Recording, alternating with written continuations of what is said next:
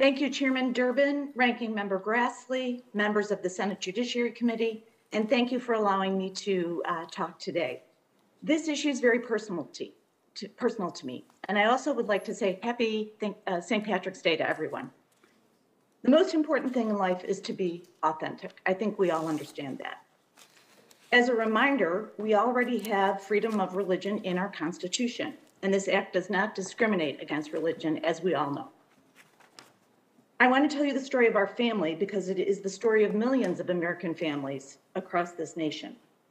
More than five years ago, before she had transitioned, my daughter, at just 14 years old, had experienced deep depression and anxiety. Unable to identify the cause of her pain, she told her parents that the only two solutions she felt would solve it was either suicide or running away. I'll say that again. She was in such a spot, she felt that suicide or running away were the only options. Heartbroken but determined not to lose our child, we enrolled in a local day therapy program.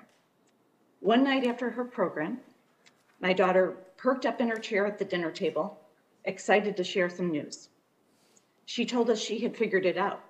Mom, I'm not a boy. I'm a girl, and my name is Evie Newman.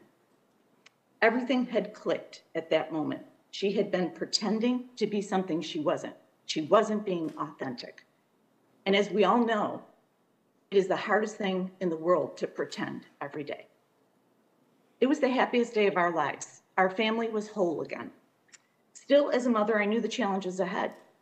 My daughter would not grow up in a nation where, uh, as an example, in 25 states, she could be discriminated against merely because of who she was.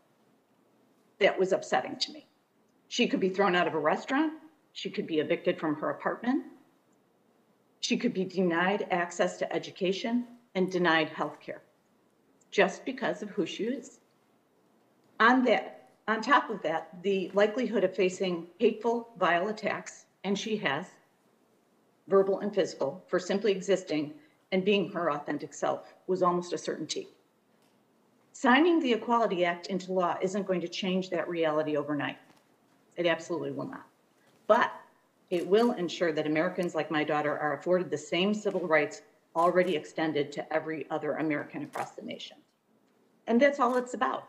It's about equality. We're not asking for anything special or different. Equality and nothing more. No American should have to live a lie.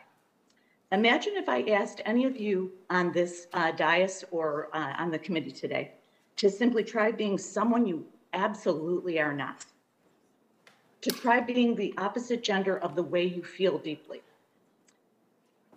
To try to be something that you are not every day is very difficult. Do this for a week, a month, a year, and I guarantee you will feel deep depression, great anxiety, and yes, even suicidal. If you pass this legislation, we can show millions of Americans that their government accepts them and will protect them for who they are.